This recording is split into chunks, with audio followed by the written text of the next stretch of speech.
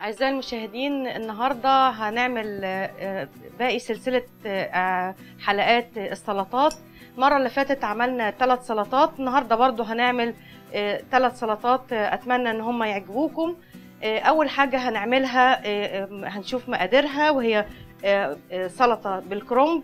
آه، كرنب أحمر مقطعينه جزر مقطعينه كمان عندي هنا مايونيز قد مايونيز قد الزبادي عشان برضو نقلل السعرات شوية. وملح وفلفل. فهنبتدي نعمل السلطة دي. بنحط كل حاجة على بعضيها. فبحط الكرنب أهو. بعديه بحط الجزر المبشور. وبعدين بحط المايونيز والزبادي. وبعدين أبتدي أقلب ده كله كده على بعضه.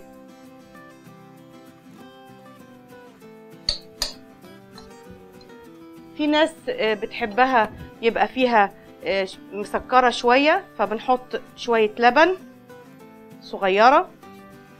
وبعدين بنحط شوية عسل قد معلقة شاي عسل.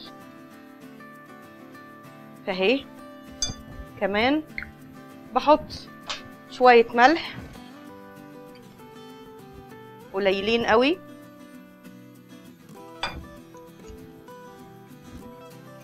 وبحط شوية من الفلفل الأسود. وبقلبهم على بعض. أنا الحقيقة بفضلها تبقى حادقة لكن في ناس تانية بتفضلها تبقى مسكرة شوية فحسب الرغبة. لو محباها زي حادقة بس فما بحطش فيها العسل مع اللبن. لو بحبها إن أنا آه، تبقى مسكرة بحط معلقة العسل الصغيرة وعليها لبن. وتبقى دي شكل السلطة الأولانية اللي إحنا عملناها.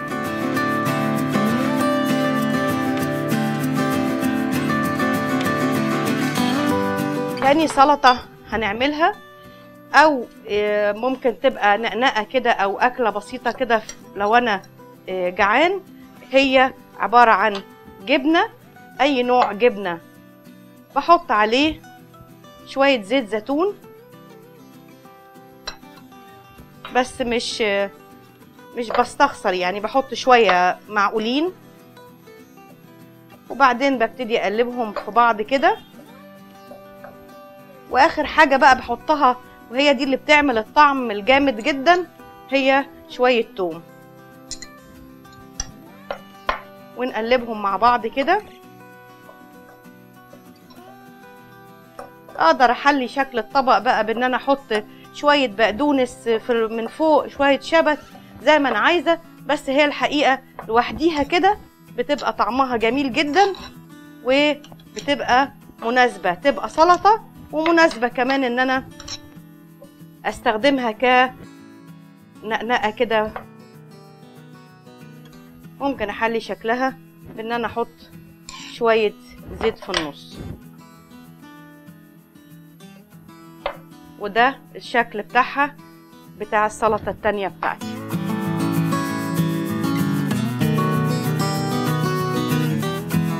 السلطة التالتة بتاعتنا وهي بدنجان مخلل بحط شوية توم شوية حلوين كده. وبعدين بحط عندي فلفل ألوان فلفل حراق فلفل آه، أصفر فلفل حراق أحمر فلفل أخضر وجزر. بحط كل ده مع بعضه في ال hand blender أو أي حاجة تفرم لي الحاجات دي مع بعض. ما عنديش ببشر الجزر وبقطع كل الفلفل ده تقطيع صغير وبيأدي الغرض برضو بعد كده بحط شوية زيت.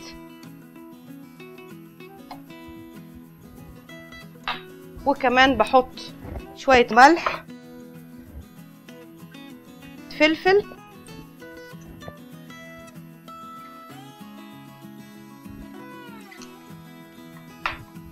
وبعدين أدور الخلاط مع بعضه.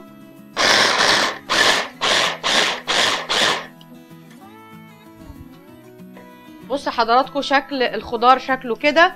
الخضار ده ببقى آه، مش عايزاه يبقى مفروم فرم ناعم بيبقى عايزاه فرم خشن عشان خاطر يبقى شكله باين جوه آه، البدنجان بتاعنا. ببتدي بقى أفتح البدنجانه بتاعتي وأبتدي أحشي. الخضار بتاعي واحطه جوه البدنجانه بالشكل ده وبكمل طبعا كله لحد الآخر. في ناس بتحب تحط كمون طبعا مفيش مانع.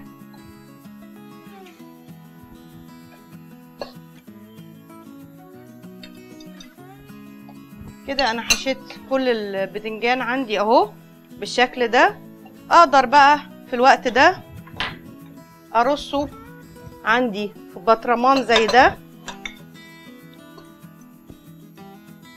بالطريقة دي.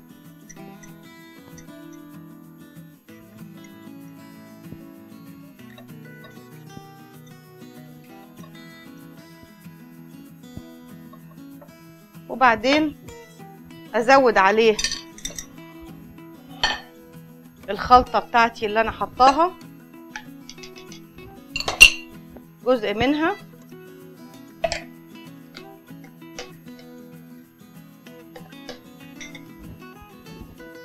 وبعدين أروح حاطة شوية خل. وأحفظها في التلاجة. ممكن كمان شوية زيت زيتون أحطهم أزودهم في الآخر. لكن لو مش بحب إن أنا أزود الزيت كده كفاية وبحفظها في التلاجة وبيبقى شكله كده.